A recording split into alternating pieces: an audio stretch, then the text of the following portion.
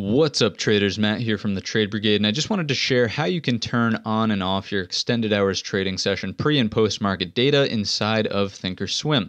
Obviously, you're going to need to be on an intraday time frame. I'm using the 10 day, 15 minute chart. From here, I believe pre market data is turned on by default. That's the gray shaded area. We can turn this off by clicking on the gear icon here in the top blue bar.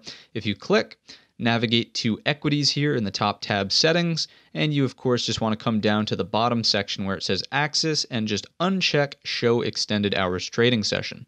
If I press OK, you'll notice it reloads, and now the extended hours trading session is hidden.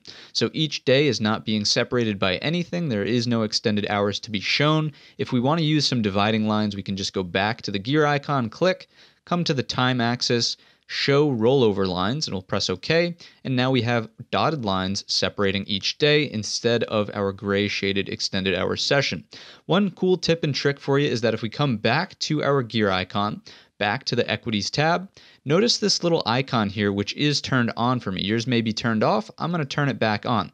What this is going to do, if you turn it on, check it on so that, that it's shaded, press OK and then come up to your style option here. And what we've essentially just done is create a little shortcut, and now all we have to do is check it on here.